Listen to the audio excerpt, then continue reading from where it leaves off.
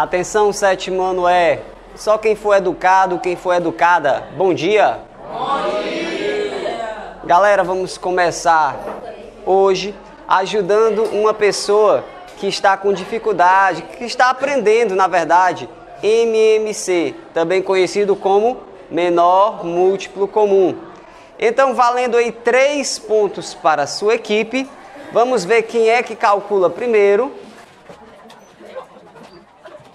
O MMC de 50 e 75.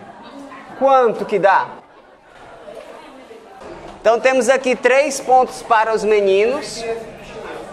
Reginaldo acertou e ganhou três pontos para os meninos. Reginaldo, se quiser, pode me ajudar aqui, cara. A gente pode calcular o MMC da seguinte maneira. A gente pode colocar o 50 aqui, ó, através do algoritmo da fatoração simultânea. O 50, uma vírgula só para separar e logo em seguida o 75. Não foi assim que ele fez. Mas a gente pode fazer desse jeito. Eu vou fazer das duas maneiras, tá? A gente coloca um traço aqui, ó, e a gente começa a testar a divisibilidade desses números pelos primeiros números primos. Se você ainda não ganhou ponto para sua equipe, você pode ganhar. Se a galera toda ficar em silêncio quando eu fizer uma pergunta e você ser a primeira pessoa a responder, você ganha ponto ainda, certo? Então preste atenção para responder. A gente começa pelo primeiro número primo natural, que é o 2. Algum desses é divisível por 2? O 50 é, professor. Então eu escrevo 2 na coluna da direita. Quanto que dá 50 dividido por 2? 25. Aí você escreve 25 abaixo do 50. Professor, mas o 75 não é divisível por 2, então só repete. Algum desses números é divisível por 3, que é o próximo número primo? Qual? 75. Quanto é que dá? 75 dividido por 3? 25. Quem foi que respondeu? Elias ganhou mais um ponto para os meninos. Pergunta foi polêmica, né? Todo mundo ficou em silêncio, Elias respondeu primeiro. Cara, quem é que não sabe que três moedinhas de 25 centavos dá 75 centavos? Quem é que não sabe um negócio desse? É ou não é, Elias? Três moedinhas de 25 centavos não dá 75 centavos? Então 75 dividido por 3, 75 dividido por 3 dá quanto? 25 para cada um, professor. Agora, o 25, ele é divisível por 3? Não. Então eu só repito, né? Só repete, professor. Agora ficamos com 25 e 25. É claro, 25 não é divisível nem por 2 nem por 3. A gente passa para o próximo número primo, que é o 5. Algum desses é divisível por 5? Claro, os dois são. Então eu escrevo 5 aqui, não é, Samuel? Quanto que dá 25 dividido por 5? 5. Quanto que dá 25 dividido por 5? 5. Agora ficamos aqui com 5 e 5. O 5, ele mesmo é um número primo. Então quem vem para cá ó, é o próprio 5.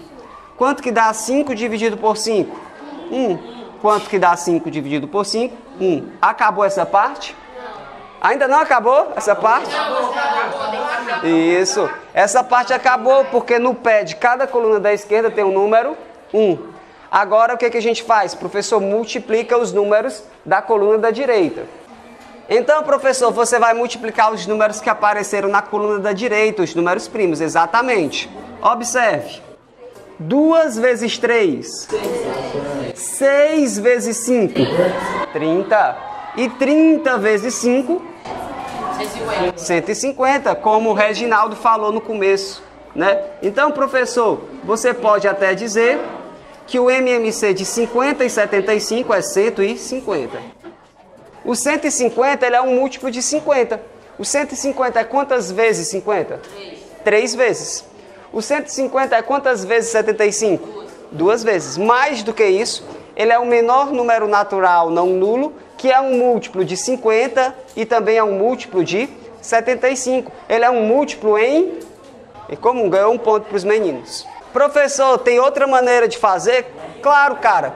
Você pode fazer assim também, ó listando os múltiplos. Você coloca um traço, ó. Você começa aqui escrevendo 50. Aqui você vai escrever o 75 e você vai listar, fazer uma lista com os múltiplos para observar o menor múltiplo comum. Foi o jeito que o Reginaldo fez. Uma vez 50 dá 50, duas vezes 50, é muita emoção trabalhar aqui, dá 100, três vezes 50. Próximo. Agora, uma vez 75, 75, duas vezes 100 e, 100 e 150, cara. E três vezes 75. Ganhou um ponto para as meninas ali, ó. 225. Mas nem precisava, né, Natasha? Porque a gente já achou o menor múltiplo em comum. Quem é ele? É o número 150. Professor, a gente já sabe que o menor múltiplo em comum é o número 150.